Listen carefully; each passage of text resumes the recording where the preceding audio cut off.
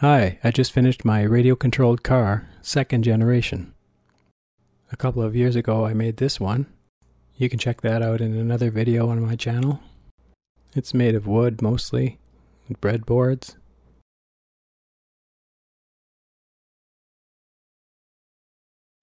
Even some duct tape. Now that I have a 3D printer, I wanted to make something a little more refined. I designed it in Blender, and this is what it looks like after a few iterations. Almost all plastic. Just some brass axles and a few uh, bolts.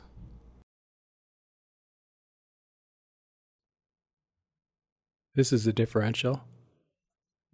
It works like a pretty basic one. It's got a pulley that turns the whole body. And if we look inside, you can see there's uh,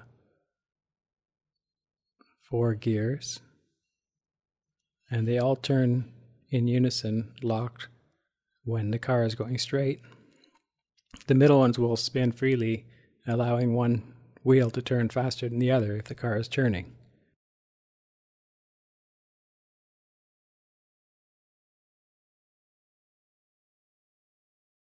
I designed the PCB in KiCad and milled it on my homemade CNC. It's a bit rough, but it's good enough. And here's the populated board. You can see the radio transmitters plugged into a socket. It's a single sided board with both surface mount and through hole components. The microcontroller is surface mount. It's a PIC 16F1829.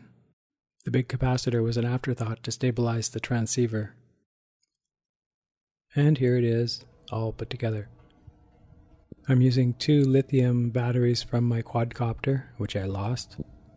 And I also have the remote control for my quadcopter and was lucky enough to find somebody had figured out the protocol and I adapted it for the PIC so it can be used uh, for this car.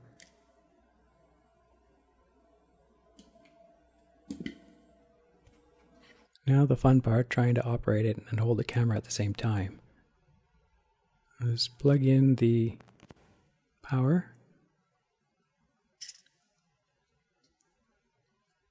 And the pairing is done the same as with a quadcopter.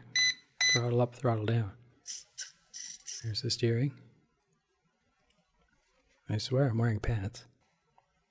Okay. I'm pretty happy with how uh, quick and responsive it is, and the steering is really nice. It turns very sharply. You have to be uh, pretty careful with how you move the thumb wheel. The quadcopter controller may not be the best thing for this. I may make something else. Maybe something with a wheel like my first generation one, but now that I can 3D print, I can make it a little nicer.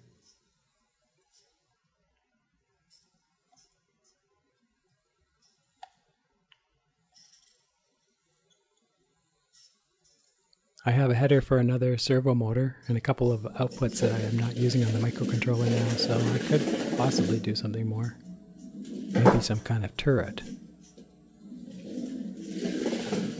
Anyway, it feels good to uh, actually see it working.